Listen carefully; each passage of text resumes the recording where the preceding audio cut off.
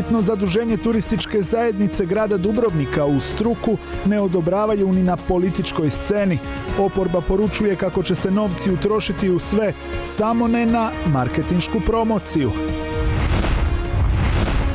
Ponovno se aktivirala Dubrovačka bošnjačka stranka na čelu sa Sadom Bečićem. Pripremaju se za izbore i poručuju kako su otvoreni za ponude, a nadaju se i vječničkom mjestu. Gruška placa već godinama čeka rekonstrukciju, dok direktor sanitata Tomislav Tabak poručuje kako se građevinska dozvola očekuje za nekoliko dana, prodavači nisu zadovoljni. Ali gdje je taj naš direktor? Od kad je došao na vlast, da nikad nije došao na ovu placu i pitao nas kakvi su nama uvjeti rada i kakvo je ođe stanje. Dobar vam dan poštovani slušatelji, dobro došli u program Radio Juga. Uz dobro raspoloženje i najbolju domaću glazbu, Radio Jug slavi svoj drugi rođendan.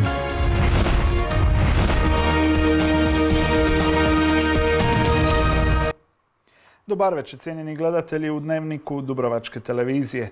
Novo kreditno zaduženje aktualne gradske vlasti, točnije turističke zajednice grada Dubrovnika, za koje je suglasnost morao dati prvi čovjek grada, uz struku ne odobravaju ni na političkoj sceni.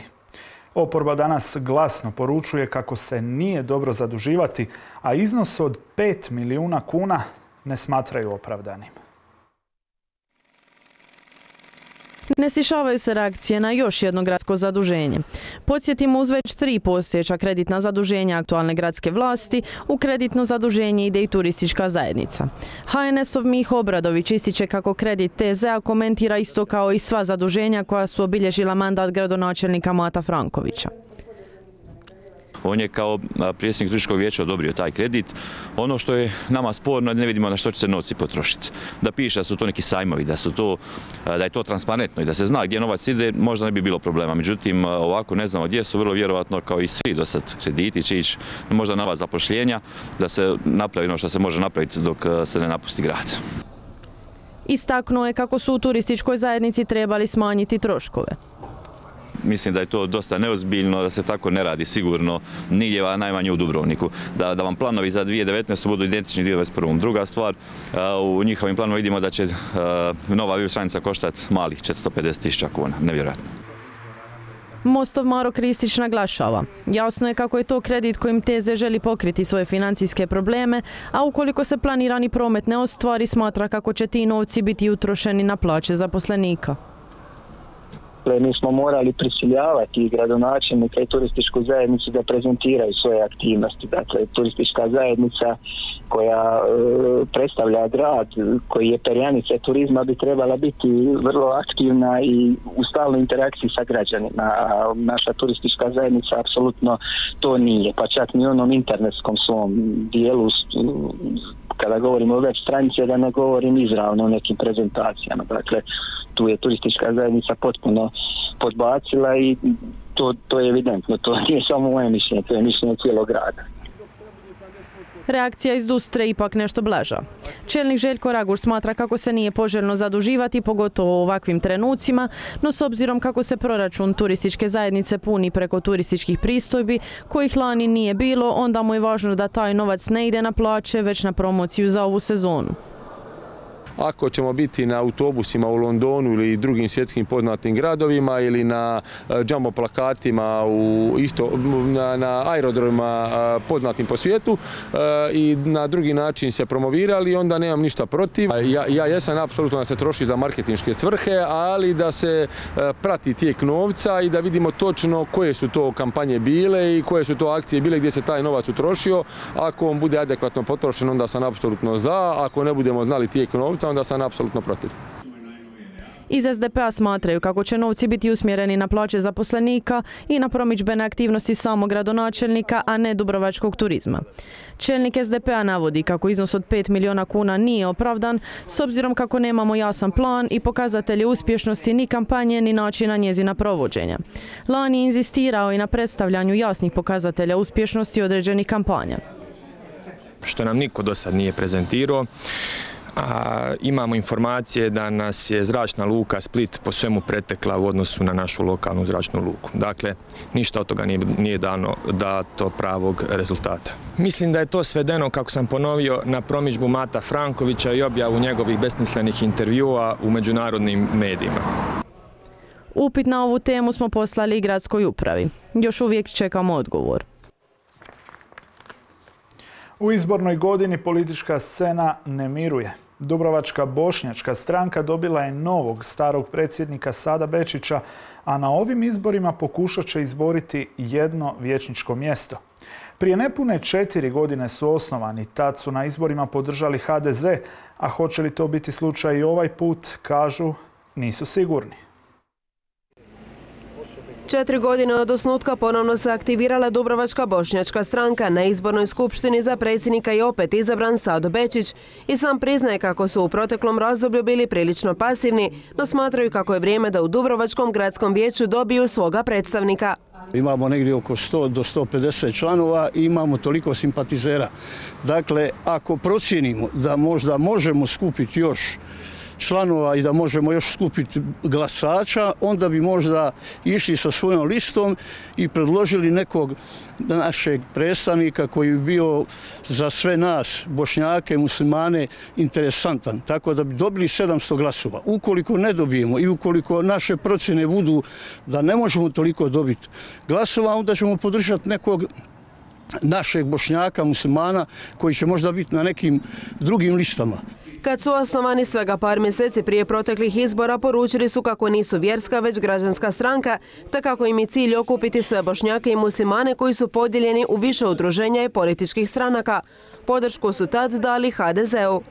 Zaista mi smo bili tada ponosni jer smo razgovarali u svezi završetka groblja, odnosno u, na Dubcu gore ovaj, i, e, groblja gdje bi bilo i gdje bi se naši ljudi kopali jer to je gorući problem i to nam je bilo vrlo, vrlo interesantno i nama je obećano i u tom planu se nešto kao što vi znate i napravilo. A, nismo razgovarali ni s kim, sad vam kaže, ne znam koliko smo interesantni za ove velike političke stranke. Ako neki smatraju, e, mi vrlo teško ići u koaliciji s nekim da bi vas neko uzeo sa ne znam možda 200-300 glasova, ali ako bude neko tražio našu podršku ili potporu, mi ćemo je vrlo rado dati. Naravno, mi smo otvoreni za razgovor sa svakim, odnosno sa svakom opcijom političkom. Više je problema koji muče Bošnjake na području grada i županija, Bečić ističe kako bi prisutnošću na političkoj sceni neka od njih bilo lakše riješiti. Ako bi ušao iz naše korpusa Duvračko-Neretvanskom goda možemo tražiti od njega i e, veće zapošljavanje naših ljudi, stambene prilike da se rešavaju, da se više mladi zaposli. Dakle, ovi nekakvi problemi koji su i, i kod svih dakle, zastupli, ne samo kod nas, ali znate, onda je lakše rješavati kad imate nekoga u gradskom vijeću. Bečić kaže kako je prijeko potreban islamski centar, no kako je to u domeni islamske zajednice, te kako se on u to ne bi miješao. Kad smo već na temi lokalnih izbora, dodajmo još samo kako je Most danas predstavio svog kandidata za gradonačelnika grada Metkovića. Riječ je o liječniku Nikici Hajvazu. Kandidaturu je predstavio u društvu Boža Petrova i Nikole Grmoje. Nastavljamo dalje s najvažnijim vijestima. Gruška placa već godinama čeka bolje dane. Njenu rekonstrukciju najavljivala je i bivša uprava sanitata na čelu s Vedranom Kunicom, a nakon što je projekt godinama stajao zaboravljen u ladici, konačnu realizaciju ovog kapitalnog projekta obećao je aktualni direktor sanitata Tomislav Tabak. Ipak, već mjesecima javno se pita što je s projektom. U listopadu prošle godine na sjednici gradskog vijeća sanitatu je dana suglasnost za uklanjanje zgrade u svrhu rekonstrukcije place u Gružu. Na istoj sjednici predstavljen je budući izgled Gruške place, a o rekonstrukciji se počelo govoriti još u mandatu bivšeg direktora sanitata Vedrana Kunice. Aktualni direktor sanitata Tomislav Tabah tada je kazao kako je projekt rekonstrukcije Gruške place u završnoj fazi i kako će se kroz nekoliko dana predati potrebna dokumentacija za ishođenje građevinske dozvole. Od listopada projekt nije imao znatan napredak, a Tabak objašnjava zašto i u kojoj se fazi trenutačno nalazi. Znači, odradili smo prvi krug, e, kako se kaže, konzultacije predobivanja dozvola vezano za to. Sada dolazi ovaj zadnji, onda smo se usklađivali dozvolu sa potrebnim javnopravnim tijelima.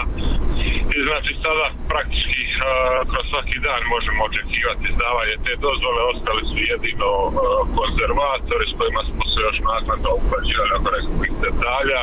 Iako su više puta i sanitata naglašavali činjenicu kako trenutačna placa nije adekvatna, te prodavače ne štiti od jakih vrućina ni od hladnoće, prodavači poručuju o nama niko ne misli. Ali gdje je taj naš direktor? Od kad je došao na vlast, da nikad nije došao na ovu placu i pitao nas kakvi su nama uvjeti rada i kakvo je ođe stanje. Ne znam, za sad niko ne spominje. Možda ću prije ja umrijeti. Nikad niko ništa nije rekao, ja mislim da neće nikad. Jer gradu nije u interesu placa. Ali oni rade u saboru, njima treba više. Ja mislim da su papiri neđe u ladici da spavaju dok se gospoda odluči ovo natkriti. A ovo što su oni napravili, ove tende i ovo, ovo je samo neko pokupio solde. Ipak na točan datum početka radova prodavači će se još morati strpiti.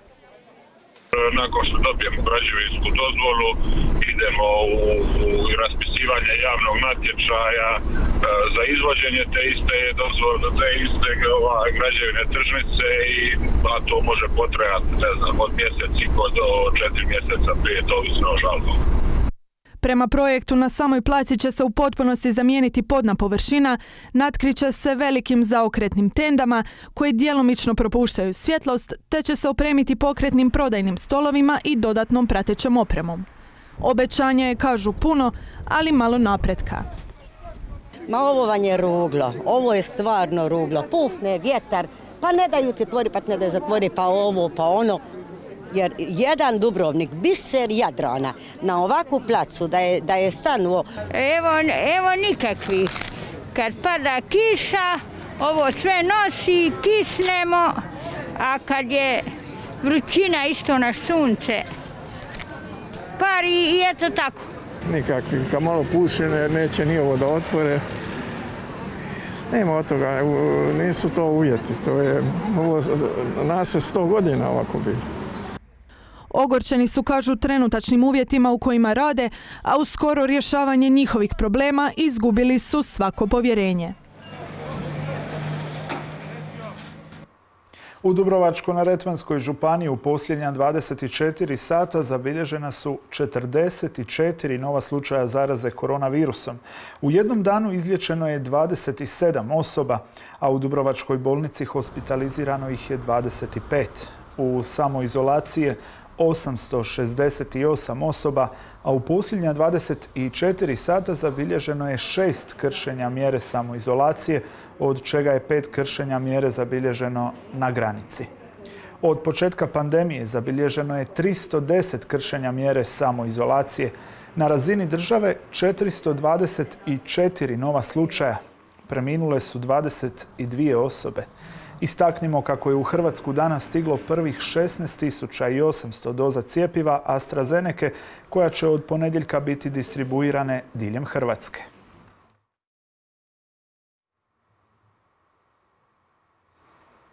A iako nacionalni stožer najavljuje skori početak cijepljenja u ordinacijama obiteljske medicine, liječnici u Dubrovniku s kojima smo danas razgovarali poručuju kako tako zamišljena izvedba logistički nije moguće.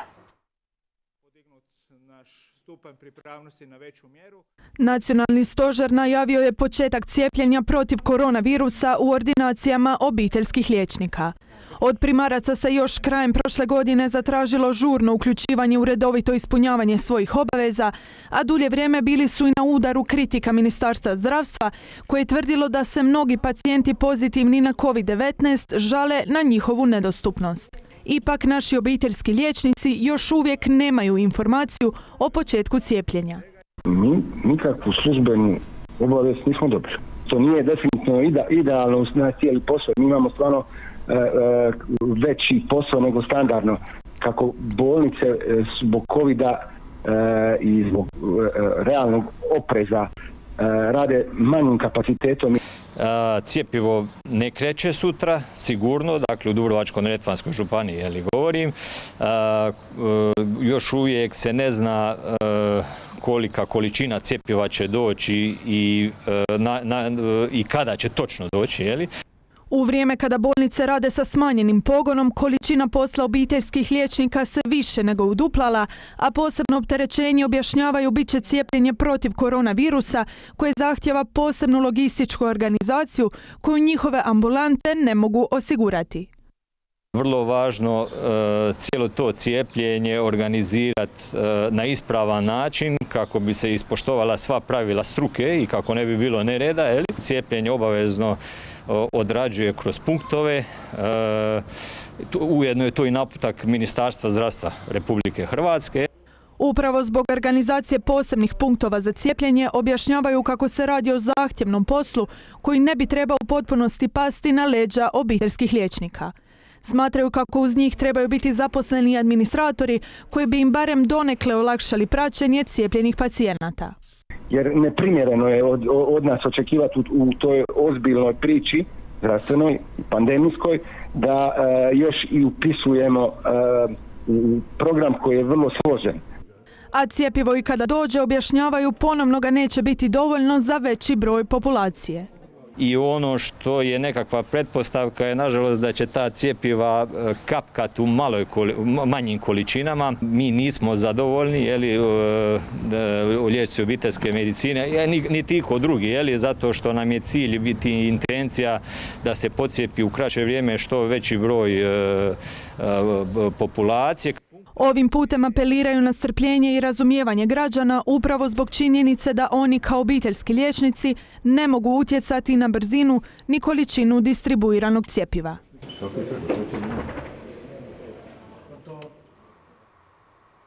Radio Jug slavi svoj drugi rođendan. U ove dvije godine postali su prepoznatljivi na radijskoj sceni zahvaljujući bogatom programu, ali isključivo najpopularnijoj domaćoj glazbi. Kamere Dubrovačke televizije danas su ih posjetile. Dobar vam dan, poštovani slušatelji. Dobro došli u program Radio Juga, baš kao i svakoga dana. I danas je uz vas uh, uvijek dobro raspoložena ekipa Stijepo Obradović i Suzi Sokol. Stijepo, tako je, evo, dobro jutro vam i od mene i ovo jutro ćemo vas informirati, zabaviti i obskrbiti sa dosta korisnih informacija. I tako svakoga dana već dvije godine Radio Jug je s emitiranjem svog programa počeo 3. veljače 2019. Na frekvenciji 96,9 MHz slušateljima donose najveće domaće hitove čime daju važan doprinos Dubrovačkoj medijskoj sceni, pogotovo onoj radijskoj. Glavna urednica Suzi Sokol kaže kako je njihov cilj slušateljima prenijeti lijepe emocije i ugođaj putem glazbe. Stoga se trudimo da naš glavni sadržaj i ono što slušatelji prepoznaju bude dobra, domaća, provjerena glazba, ali uz to neizostavno idu i korisne, kvalitetne, pravovremene informacije, naravno to su naše vijesti i uvijek zanimljivi sugovornici koje nastojimo popratiti u emisijama koje su četiri različite i naravno samim time četiri različita područja. Emisije su raspodijeljene tako da gotovo svakog dana različite skupine slušatelja mogu pronaći ponešto za sebe. Bez obzira što je radio ono najbrži, jamo reći, medij koji u trenutku reagira, jako je dobro imati ponekad ove sporovozne emisije. Pa onda imamo Infopult koji nekako prati kulturno zbivanja toga. Nadamo se da će biti i dalje u našem gradu, a ima na pretek. Tu je emisija Tragom znanja koja se dotiče zdravstvenih tema. Zatim imamo radio Vetrinu, našu lijepu koja e, nekako poprati sva događanja vezano uz udruge u našem gradu i sve što one doprinose. I naravno e, neizostavna emisija Sve za pet. Jedna radio Jugu je sve za pet, a ona se tiče uglavnom i odnosi na obrazovanje. Uz glavnu urednicu tu je i dvoje novinara i voditelja Dalija Prce i Stijepa Obradović. Upravo se Dalija prvi put i obratila javnosti putem Radio Juga, a zato je vežu lijepe uspomene. To je bilo simbolično, mi smo tada samo napravili javljanje treći drugog na Svetog Vlaha ili ipak je to gradski radio. Evo kao što sam i ranije rekla, to je baš bilo simbolično i moram reći da smo krenuli u 11 sati sa Dubrovačkom pjesmom La muzika di note, tako da je bilo sve u simbolici grada i Svetog Vlaha i dana grada i stvarno mi je u lijepom sjećanju ostao taj dan. Dalin kolega Stijepo na Radio Jugu radi svega nekoliko mjeseci, no radijskog iskustva ima čak šest godina. Svoje prve riječi izgovorio je na Unidu radiju, a na Radio Jugu mu je kaže jako lijepo. Meni je bitno da ovo ne gledam kao neku obavezu i kao posao, nego kao neki hobi u kojem uživam jer mislim da dok uživam onda i nemam neki osjećaj da radim, da je to neka obaveza da se nešto mora, nego više nešto što želim i što mi se sviđa. Obveza jednog novinara i voditelja na radiju su priprema vijesti i emisija. Stijepo i Dalija su sukladno novoj radijskoj šemi zaduženi za poslijepodnevni program, tematski nešto opušteniji, a glazbeno nešto veseliji. Ono što je konstanta su redovite servisne informacije, ali i kako sa zadovoljstvom ističu s Radio Juga, dobro raspoloženje i najbolja domaća glazba. Bogata sportska subota. O najnovim vijestima iz svijeta dubrovačkog sporta doznačete za nekoliko trenutaka.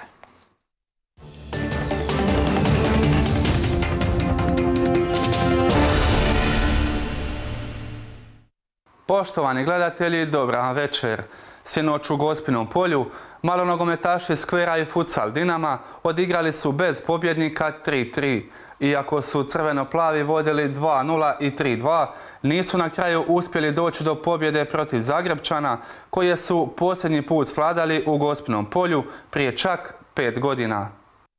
Nismo mi ni očekivali da će nakon 2-0 biti utakmica gotova. E.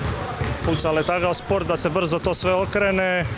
Nažalost, napravili smo neke prekršaje, oni su dva puta iz deseterca ovaj, izjednačili, ali sigurno da veseli što smo cijelu utakmicu mi vodili i mi bili ti koji su u ostu, oni su nas stizali. Utakmica puna tempa i, i eto, neki detalji su možda presudili da, da, da ne osvojimo sva tri boda, ali dobro, prvenstvo je dugo, idemo dalje. Sljedeća dva kola Osijek i Vrgorac. E, tako da svaka utakmica je bitna, u svakoj utakmici u ovoj ligi se može pobijediti. Naravno, nikog ranije ne možeš otpisati i to je draž ove godine što su svi izjednačeni. Ne znam, sad evo prvi dojam nisam zadovoljan, no opet nisam niti nezadovoljan da ne budem neskroman, vodu Dubrovniku je dobar, ali smo, mislim da smo bili, da smo bili bliži i da smo, da smo zaslužili pobjedili bi, ali nismo uspjeli. Iduće kolo igrate protiv Univerzitasa momčadi koja se bori za spas. Da, a Avcu je izuzetno nezgodan protivnik za nas, to se ispostavilo, ovih su neizvjesne utakmice. To se vidi koliko je Liga jaka, znači tim više što ja jako cijenim ekipu Univerzitasa i svu tu njihovu priču, motivaciju, tako da ćemo mi ući naravno koji svaku utakmicu maksimalno ozbiljno, pripremit ćemo se i pokušati osvojiti tri boda. Rukometaši Dubrovnika večeras od 19 sati u Gospinom polju dočekuju rukometaše Sesveta. U sastavu Dubrovnika neće biti Bruna Ugrina, dok su gosti u Dubrovnik stigli u kompletnom sastavu. Trenirali smo cijeli tjedan dobro, e, imamo malih problema s ozljedama, ali mislim da će svi biti spremni. E, očekujemo dobru utakmicu, oni su iz gornjeg dijela tablice, jako dobra i zahtjevna momčad sa našim bivšim trenerom Silvijom Ivandijom. E, daćemo sve od sebe, ostavit ćemo srce na terenu koji na svakoj domaćoj i gostujućoj utakmici i nadamo se bodovi. S obzirom da je do kraja regularnog dijela ostalo još šest utakmica, svaka utakmica nam je maksimalno bitna i bodovi nam trebaju da bi u onom najbitnijem dijelu sezone kada kreće Liga za opstanak ušli u što boljem plasmanu. Nakon pet uzastopnih poraza košarkaši Dubrovnika danas u Samoboru protiv istoimenog domaćina traže prekid negativnog niza u prvoj ligi.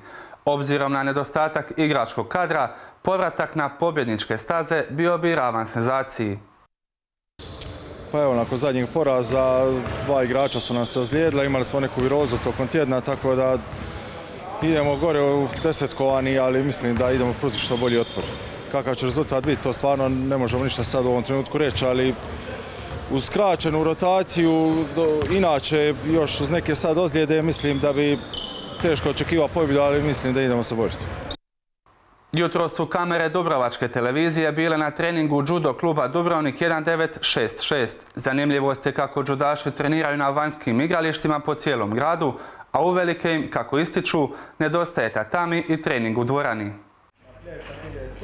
Dvadesetak judaša, članova judo kluba Dubrovnik 1966, jutros je pod trenerskom palicom Stijepa Roka odradilo posljednji ovotjedni trening na igralištu poviše osnovne škole Ivana Gundulića. Pa evo ova situacija ja mislim najizazovnija za sve trenere. Ja sam sretan što smo napokon krenuli na ovim, s ovim trenzima na otvorenom. ovo je moja ekipa do 16 godina. Krenuli smo u ponedjeljak kad su popustile malo mjere i nadamo se da će uskoro doći do maksimalnog popuštanja i da će djeca moći ući u dvorane. Obzirom na neplaniranu pauzu zbog pandemije koronavirusa, Roko ističe kako su članovi vježbali online, a do ulaska u dvoranu kaže. Imamo par lokacija za treninge, Gruž, Kopakabana i Petka, tako da e, shodno vremenu planiramo, planiramo dalje naše treninge. E, za sad nam je cilj podignuti fizičku pripremu i raditi nekakvim detaljima, sitnim pokretima. Članovi zadovoljni treninzima, a kako ističu, nije im teško ni subotom ustajati rano te odraditi kvalitetan trening. Evo, imali smo treninge na online satima s trenerom Stjepom, trenirali smo 45 minuta doma i slao nam je treninge snage kod doma isto da radimo. Pa evo sad smo se vratili ovaj tjedan u ponedjeljak, e, trčimo dosta, na primjer petka i ujedno i ovo igralište i dosta je teže nego u dvorani jer e, treba više kondicije za to. Iako su navikli na dvoranu, kimona i strunjače, Luka Butigan ističe kako je sad dosta teže. Iako je odradio sve online treninge, priznaje kako mu uvelike nedostaje ritam treninga u dvorani. Pa zadovoljan sam jer smo postigli maksimum koliko smo mogli tako online, ali da je bilo uživo bilo bi puno, puno bolje. Što očekuješ od ove godine? Očekujem da ćemo nas prvo pustiti u dvoranu što je prije moguće i da će se natjecanje održavati pripreme, da će se vratiti judo na normalnu nekakvu kako je prije bilo. Trenutačno nema informacija o nastavku natjecanja, a kako ističu iz judo kluba Dubrovnik 1966, nadaju se državnom prvenstvu te popuštanju mjera da se vrate tamo gdje i pripadaju, u dvoranu, na tatami i u svoje radno odijelo. Bivši igrač skvera Marko Kuraja, koji je od početka ove sezone bio član talijanskog prvoligaša Mantove, danas je dogovorio suradnju s Katanijom, osmoplasiranom momčadi serije A. Javio se za Dobrovačku televiziju dok je putovao vlakom prema Rimu, gdje će se večeras pridružiti svojoj novoj momčadi. Ništa sretan sam što sam e, se dogovorio sa jednim od najboljih klubova u Italiji. Cilj nam je izboriti play-off i onda ostvariti što bolji rezultat, a ja sam e, ja sam pozitivan da će, da će to tako i biti, da ćemo, da ćemo ostvariti e, lijepi rezultat jer imamo stvarno jaku ekipu. Stigli smo do kraja sporta za ovaj tjedan. Do ponedjeljka, poštovani gledatelji, lijep pozdrav!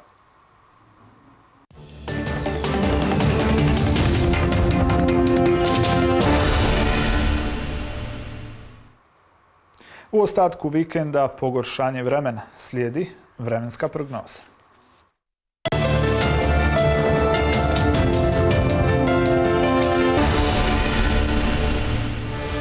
Noći će doći do jačeg naoblačenja s kišom, pljuskovima i grmljavinom, najprije na sjevernom Jadranu i u gorskim područjima, sredinom dana i drugdje, no na krajnjem istoku tek na večer. Kiša će ponegdje na Jadranu i uz njega biti obilna, puhat će umjeren jugozapadnjak, u gorju i jak, a na Jadranu jako i olujno jugo i oštro. I dalje iznad prosječno toplo s najnižom temperaturom zraka između 4 i 9 na kopnu i od 10 do 15 na Jadranu, dok će najviša dnevna biti uglavnom između 12 i 17 Celzijevih stupnjeva. U našoj župani sutra malo oblačno danju sunčano, prema večeri na oblačenje s kišom.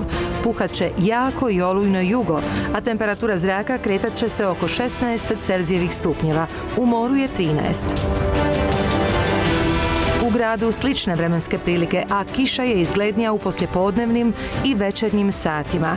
Puhat će jako i olujno jugo, a temperatura zraka kretat će se oko 16 Celzijevih stupnjeva. S početkom novog tjedna na Dubrovačkom će području biti promjenjivije uz kišu mjestimice je moguća i veća količina, pa čak i grmljavinsko nevrijeme, a temperatura zraka kretat će se oko 14 Celzijevih stupnjeva. Nepovoljan biometeorološki utjecaj će biti jače izražen nego prethodnih dana.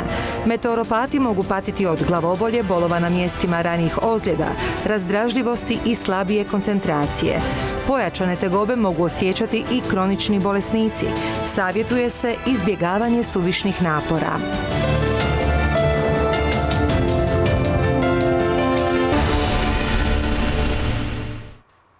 Cijenjeni gledatelji, pratili ste Dnevnik. Ponovno smo zajedno od 20 sati u kontakt emisiji Glas naroda. Podsjećamo kako sutra od 9 sati uživo na našem programu možete pratiti zatvaranje 1049. feste Svetog Vlaha. Hvala vam na pažnji, lijepi pozdrav!